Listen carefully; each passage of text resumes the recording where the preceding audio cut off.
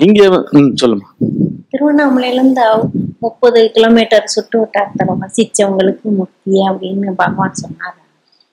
அதாவது வந்து அவர் வந்து ஒரு தடவை அவரை வந்து பல பேர் வந்து கம்பல் பண்றதுக்கு வந்தாங்க.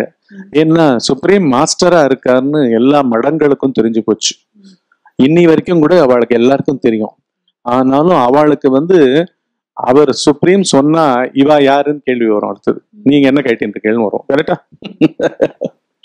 நீங்க ஒரே ஆஹ், காத்தாலேந்து விமரிசையா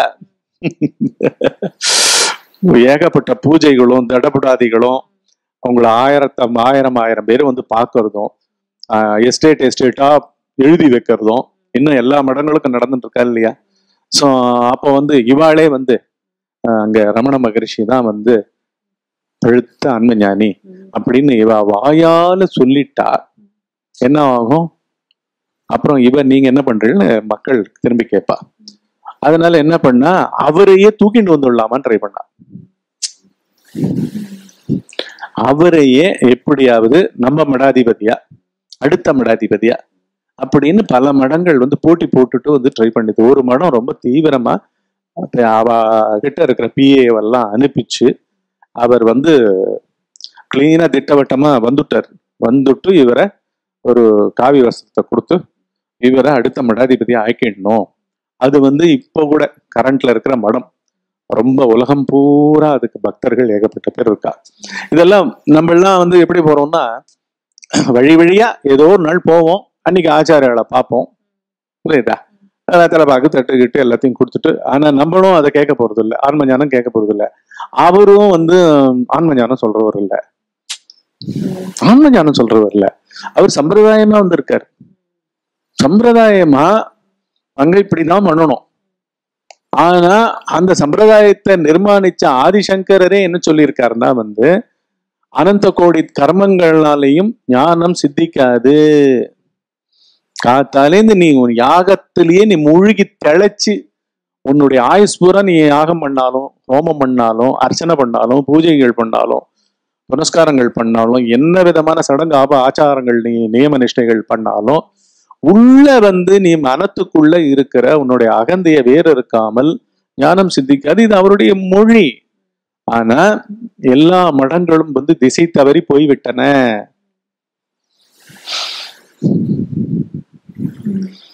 எல்லாத்தையும் புஸ்தகமா வச்சுட்டா.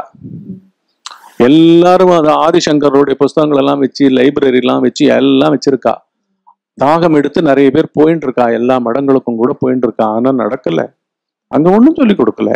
உங்களுக்கு பிரசாதம் கிடைக்கும். எல்லா பிரசாதமும் கிடைக்கும். புரியுதா? தீர்த்த பிரசாதம் கிடைக்கும். ட்ரை ஃப்ரூட்ஸ் பிரசாதம் கிடைக்கும். பூக்கள் கிடைக்கும். மாலை மரியாதைகள் கிடைக்கும். அப்புறம் கச்சேரிகள் நடக்கும். திருப்பி வந்து போச்சுடா. அடுத்த வருஷம் போச்சு. அடுத்த திருவிழா வந்தது. அடுத்த நாள் போச்சு. அவ்வளவுதான். ஒரு மில்லி மீட்டர் வந்து மனம் என்ன? எண்ணங்கள் என்ன? உணர்ச்சிகள் என்ன? உணர்ச்சி வசப்பட உணர்ச்சி மயமா இந்த பிரபம் பிரபஞ்சம் இருக்கேன் ஒரு பூச்சி கூட உணர்ச்சியா போயிட்டு இருக்கேன் அதுக்குள்ள இருக்கிற பாவம் என்ன பாவம்? ஒரு மனிதன் கிட்ட இருக்கிற பாவம் என்ன பாவம்? இதான் ஆதிசங்கரர் சொன்னார். சோ இப்படி இருக்கிற ஏதோ மடங்கள்ல கிளியரா வந்து அந்த ஆயிரத்தி தொள்ளாயிரத்தி இர முப்பதுகள்ல ஒருத்தர் வந்து திட்டமா வந்து உட்காந்துட்டார் பெரிய வண்டிகள்லாம் போட்டு வந்து ஒரு பத்து பேர் வந்து தே ஹாவ் டிசைடட் என்ன இவர் இவருக்கு ஒன்றும் கூட்டம் இல்லை எதுவும் கிடையாது. ஆயிரத்தி தொள்ளாயிரத்தி முப்பத்தஞ்சு வரைக்கும் ஈ காக்கா கிடையாது. நாற்பது வருஷம் அது அப்படியே அதுலயே திளைச்சுட்டே இருந்தது. ஏகாந்தமும் நல்லா சித்திச்சிருந்தது பகவானுக்கு. புரியுதா? அந்த மாதிரி இருந்ததை வந்து இவ வந்து சரி திட்டமா வந்து ஆஹ், சொல்லிட்டா. ஒரு மாதிரி சமிக்ஞை கொடுத்துட்டா. நாங்க போயிட்டு கோவிலுக்கு போயிட்டு வரோம். அருணாச்சலேஸ்வர் கோவிலுக்கு போயிட்டு வரோம்.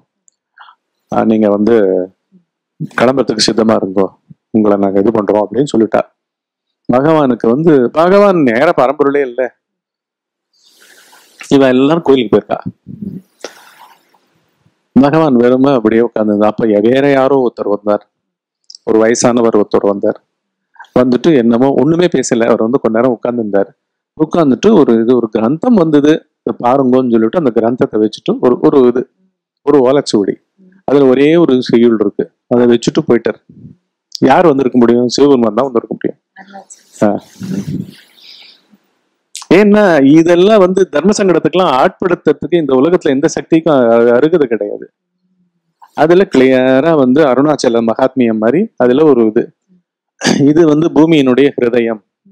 இத வந்து நினைக்க முக்தி. உட்கார்ந்த இடத்துல நீ எங்க வேணா இரு. நீ எந்த கண்டத்துல வேணா இரு.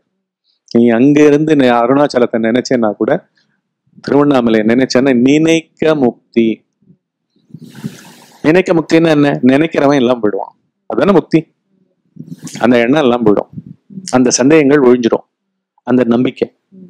அப்பேற்பட்ட அருள் பிரசாதம் கொடுக்கக்கூடிய க்ஷேத்திரம் அது. இதுலேருந்து ஒரு ஐம்பது கிலோமீட்டர் தொலைவுகளுக்கு எந்த விதமான சடங்கு ஆச்சாரம் எதுவுமே தேவையில்லை. இந்த பூமியில அந்த அந்த ஒரு ஐம்பது ஸ்கொயர் கிலோமீட்டர்ஸ்ல காலை பதிச்சாலே போறோம் அது வந்து ரொம்ப சுப்ரீம் பாக்கியம். அவனுக்கு எதுவுமே தேவையில்லை இந்த உலகத்துல. அவனுக்கு எந்த வருணாசிரம தர்மங்களும் கிடையாது. துறவரமும் கிடையாது. அவன் காவியை உடுத்திக்க வேண்டாம். புதுசா பூணலை அறுத்து எரிய வேண்டாம். பிரம்மச்சரியம்னு சொல்ல வேண்டாம். இல்லறத்துல போகிறது எப்படி வேணா இருக்கட்டும். அவன் வெறும் அருணாச்சலத்துல இருக்கணும்.